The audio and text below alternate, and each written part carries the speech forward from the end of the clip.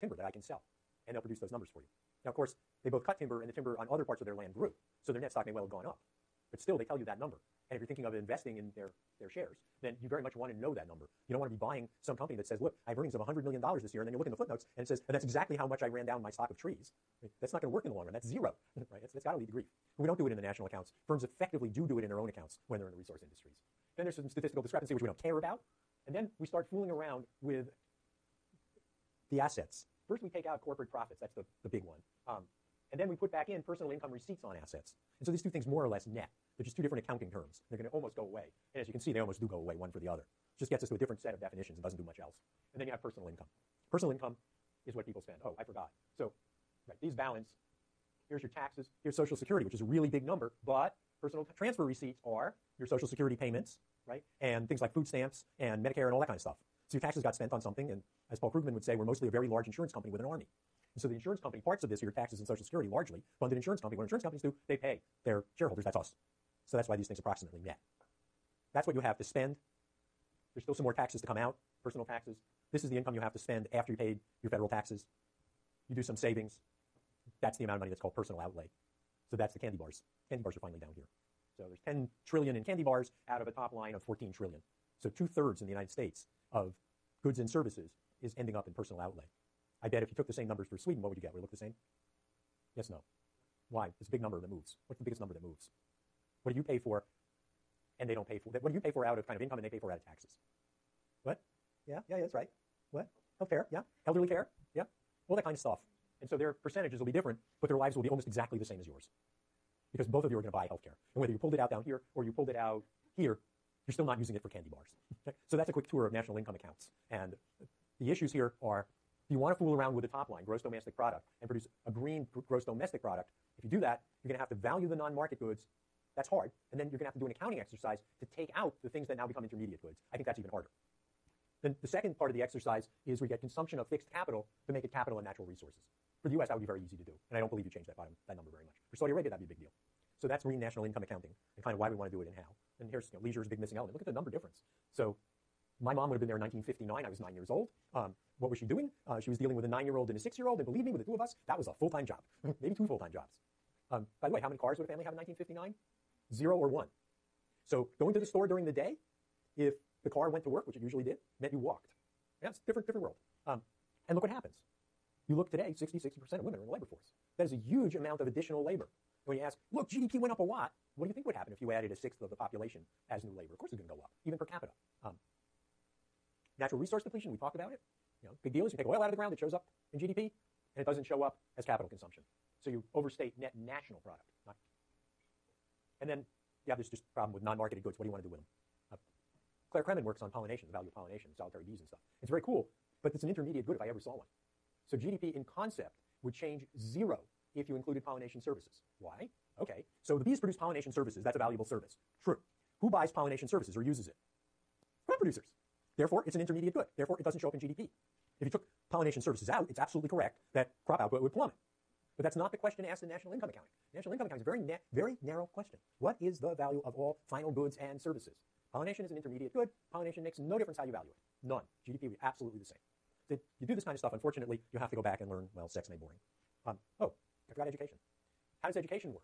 You guys getting educated? Is it a final good in the GDP? Well, think about how it works. What? But think about how it really works. I mean, I, I, can see, I can see where we should go with it, but let's start out where we do go with it. University of California spends $19 billion, or $20 billion, right? It produces medical services and some education. I think some research too. Um, how do we treat it? All it goes in GDP. It's final good. Education treats as I sold it to you, right? You're final consumer. We're done here. Even if it were an investment, it also show as a final good. So either way, it's going to show up in GDP. Now, eventually, you're all going to get much older, and what are you going to do then? What's the last thing you're going to do? You're all going to do it. Die. Yeah. What happened to the value of that education when you die? It disappeared, right? Well, so if you're really going to do this right, you would have to take care of the depreciation on this investment. So the way he was suggesting. I treat education as an investment in human capital, perfectly reasonable. Then I have to deal with the depreciation on it. Once I do that, I'm going to get education showing up less than it does now. Now it shows up 100%. I spend a billion dollars educating, a billion dollars goes into GDP, a billion dollars goes into NNP, and we're done. If I did this right, billion dollars goes into GDP, it's an investment good, and then the value of the depreciation on the education comes out. Let me suggest engineers have their education depreciated very quickly. if they don't keep renewing it at an enormous rate, it basically goes away because they can program in Pascal. And nobody does that anymore. Right? Five years takes them out of it. So maybe their education properly should depreciate at 20% a year. That should all come off of NNP. Well, nobody wants to go there and do that. But if you're serious about national accounts and serious about putting in things like education, um, it wouldn't always come out that GDP was bigger because now we're dealing with something we like, education. I would argue GDP would be the same, and NNP would be smaller if we dealt with education properly. People have produced endless aggregates to try to get at the unknowable truth of how well are we doing here? Hey, how you doing here, right? That's the question. GDP is not a great answer. We know why. NNP is a little better answer, but we know it's not a great answer either. So people did all kinds of other adjustments. So this one, we take um, net of sa- net savings, education, pollution, depletion, etc. And we do all of that, um, and we look at a set of countries. We see what happens. So there's different measures. Um, here's Brazil. So you get slightly different answers depending on what you're doing, what you take account of. If you take account of something like Sweden, right, it's going to go the other way. Look, Sweden has you know, large net savings. When you finally adjust it for education, look, they have a nice big bar here, and um, pollution, then you get this wonderful bigger bar. There are endless examples of people doing things like that. This one interests you and you want all the details, go to your textbook. I'll give you all the details. Human Development Index, on the other hand, is a, is a UN concept. And the reason is that in less developed countries, an awful lot of stuff is just simply not marketed. And GDP alone is not a great idea of how well are we doing. I think if you go to Eastern Africa right now, you'll find that GDP is growing around 10% a year. If you look around, you'll see that there are many, many, many nice houses being built. One of my friends has a house that I would love to have architect designed about one and a half times the size of mine, beautiful stonework. I guess that's not practical here, etc. And you know, he has essentially the same job I do. Um, so if GDP is growing at 10%, there's a whole neighborhood full of houses like that, and I mean like as far as the eye can see. Then it must be there's some people whose income is not growing at 10%, possibly not growing at all. Well, GDP doesn't care. And yet, if you're in the development business, who do you care about? You care about people who are making $2 a day and less. You don't care whether one of my friends is doing well. It's just not your problem. You're there for the people who make nothing, not for the people who make a lot. So GDP is no good for you. So here's the Human Development Index, and it's got a lot of other stuff in it. Life expectancy, education, national income, right, and other things. And you do get more or less what you think. I mean, you still get Sweden on top by a lot. And then you get Brazil being better off than India, and India, of course, better off than Ethiopia, because everything was better off than Ethiopia. I won't bet with you what this will look like if we went out here. My own view is if you're looking at per capita well-being, Ethiopia is going to do something like that, and India might do something like that. I mean, you, you, might well see Ethiopia join the ranks of the middle-income countries. But for now, that's what you get. If you did GDP, I think you get the same. Sweden has very high GDP or national income per capita, and that's what's dominating in this. And then I'm not sure between Brazil and India. I believe Brazil is thoroughly middle income, and India still has hundreds of millions who are dollar-a-day people. Exactly that you get the same kind of answer, just at national income. But that's actually what the UN would do. Yeah. Why Human Development Index? Well, if you think about Cuba in its heyday, so you know before it got on the wrong side of the Cuban Missile Crisis, um, what did they do? They did the same thing any other country after them would do, which is you've gotten rid of the old ruling elite who stole everything. That's a rough, roughly good statement about what it was. And what can you do to change people's well-being quickly? The answer turns out to be simple healthcare kinds of things. In Ethiopia today, they have what the Swedes would call health ants. Um, and it's core women who are very good at simple women's health issues. They're very good at making sure people's deliveries go as planned with a living child and a living mother. Right? this is not horribly high-tech stuff. And it very quickly changes infant mortality, very quickly changes mother's mortality. What about clean water? Turns out perfectly clean water is hard to do. You either boil this stuff, or you have to set up both a sand filtration system and a chlorination system. Now, if I said you have to do it, you do it. It's okay, how do you build a sand filtration system? You get a box with sand in it. You run the water through the sand. You do it three times. And then it builds up a biofilm, and it eats a lot of the things that chlorine can't get at. And then when you get it out the other end, you dump in a little bleach. Then you let it stand a little bit, and then you can drink it and you won't get sick. Right? It's not very high tech. In a less developed country, it turns out the sand filtration is too hard to do. And so, at best, you see chlorine stands is the new thing. So you build this literally a stand, and it will dispense chlorine, and you pay people to go put chlorine in the thing every week, and people go and they get their stuff out of the well, and they go zot, and they put in a little bit of chlorine, and now they have water that's mostly safe to drink. If you wanted to be truly safe, and it were you, you're out there, and all they have is the chlorination, you take it back, you pull out your camp stove, and you boil it. Once you got it up to a boil, you're done. One minute of boiling, you're absolutely done. But they can't do that.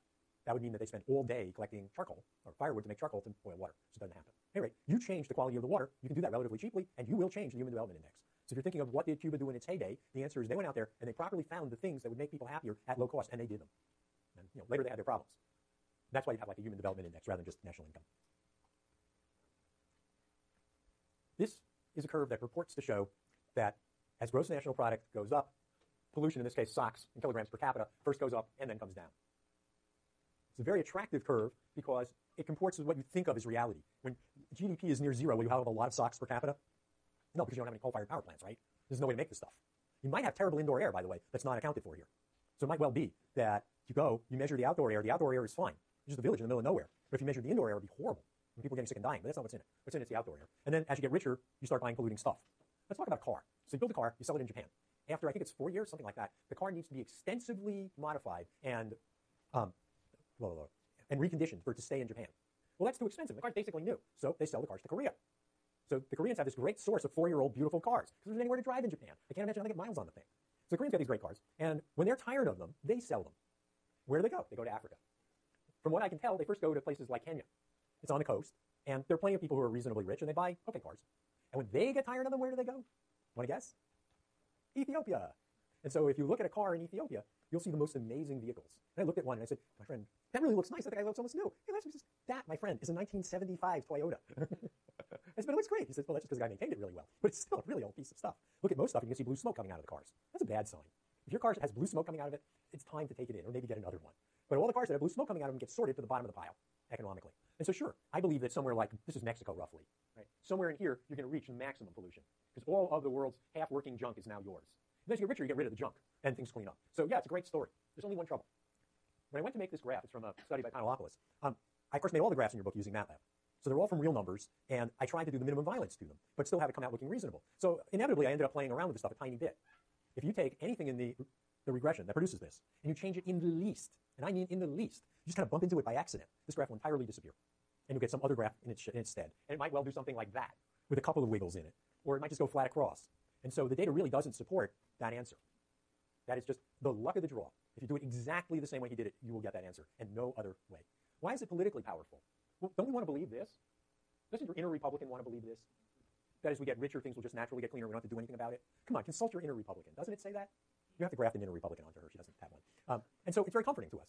It would be lovely if this, in fact, this part, in fact, were true. And if this part were true with carbon dioxide, it'd be even more lovely because it just means as we get a little more advanced, we'll get beyond this problem.